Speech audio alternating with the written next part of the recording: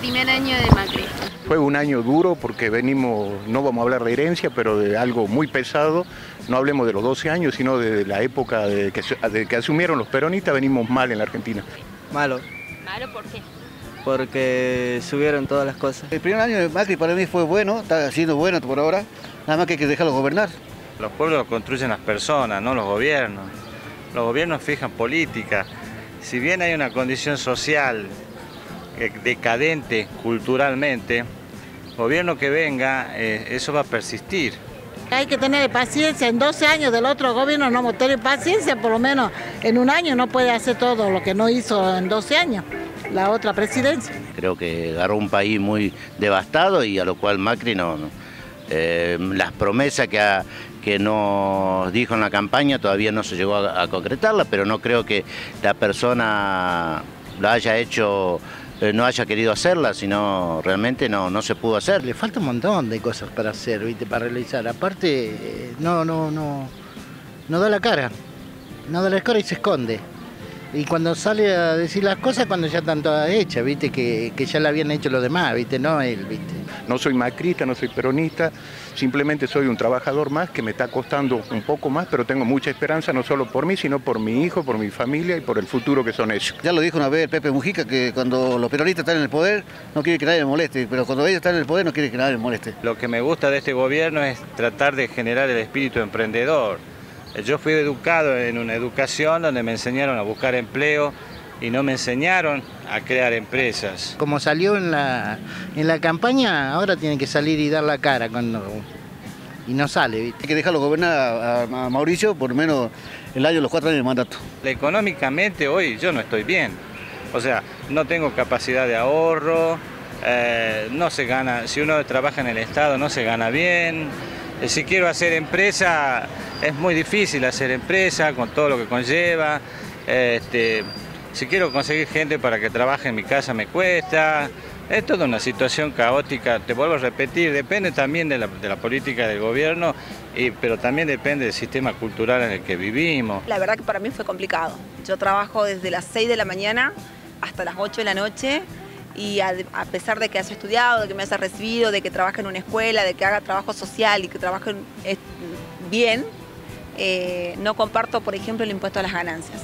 Yo, para mí, lo que Macri ha cambiado fue todo lo que hizo con, los hold down y, yo creo que unió más al país.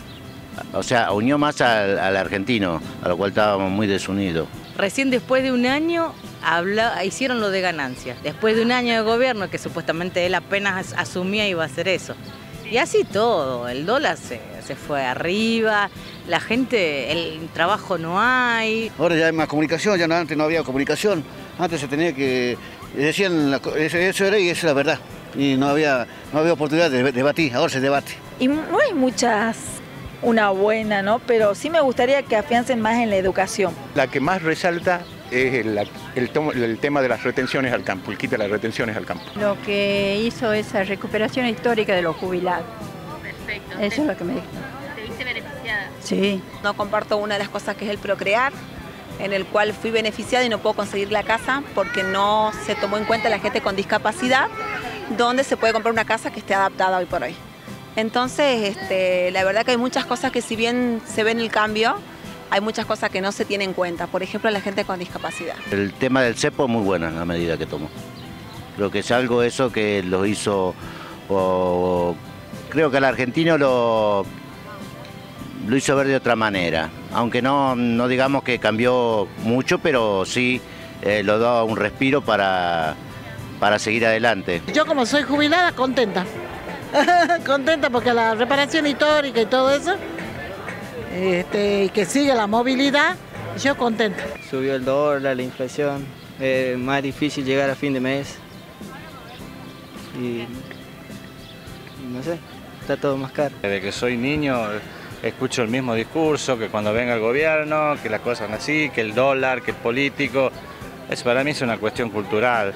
Depende de cambiar la, cultura y el proceder de las personas y que puedan llegar al poder. Lo demás es una cuestión de, ciclos. Echaron a muchísima gente la industria va para abajo, la automotriz, la industria del calzado, desgraciadamente todo está para abajo.